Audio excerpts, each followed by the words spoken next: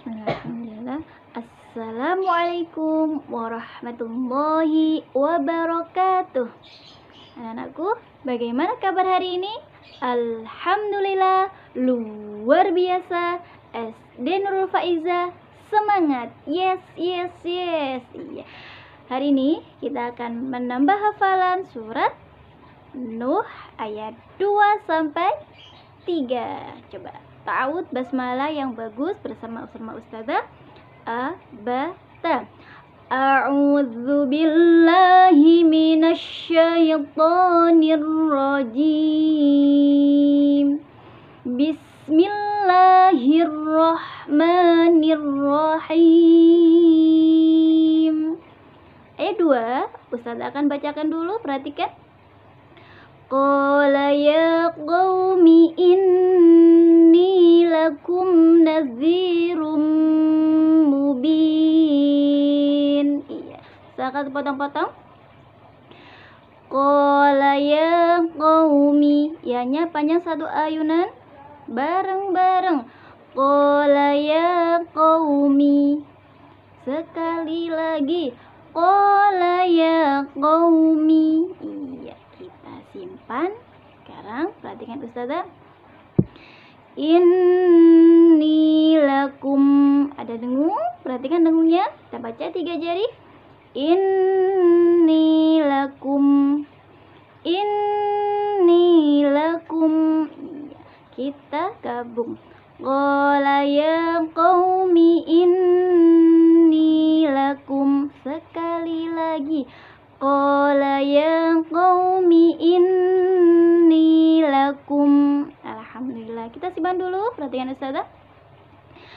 Nazirum mubin. Ada zal. Siapa yang ikat sifatnya zal di mana ya?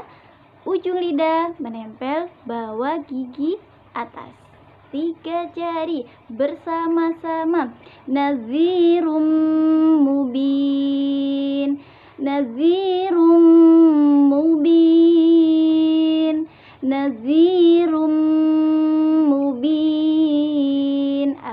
Alhamdulillah kita gabung bersama-sama. Qala ya qawmi inni lakum nazirum mubin. Tiga kali. Qala ya qawmi inni lakum nadhirum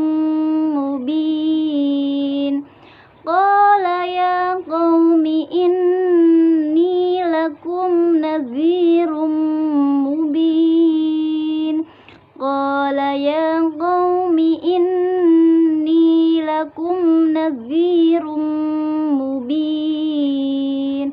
Alhamdulillah.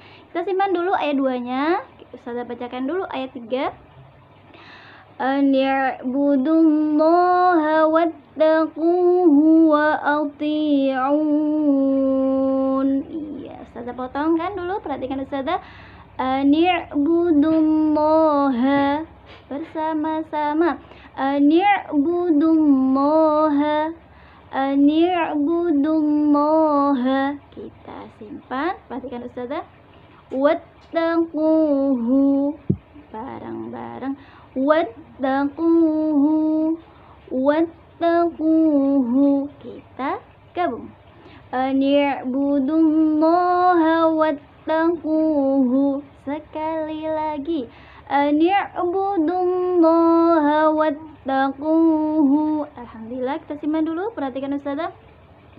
wa ati'un ada ain perhatikan. Di mana sifatnya ain? Tenggorokan bagian tengah. Kita baca bersama-sama. Tiga jari.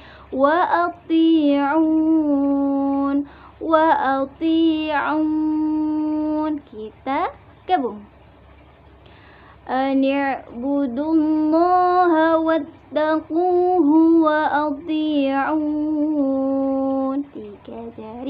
أن اعبدوا الله واتقوه وأطيعون.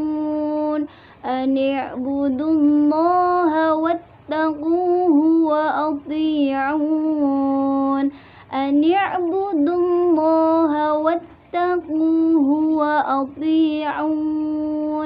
Alhamdulillah. Sekarang kita baca bersama-sama ayat 2 dan ayat 3. A, ba, ta. Qala ya qaumi inni lakum nadhirum mubin. Ayat 3. Ani'budullaha wattaquhu wa ati'un. Alhamdulillah baca tasdiq. Sadaqallahul azim. Iya dari Ustazah tetap semangat murojaah. Semoga Allah memberikan kemudahan. Wassalamualaikum warahmatullahi wabarakatuh.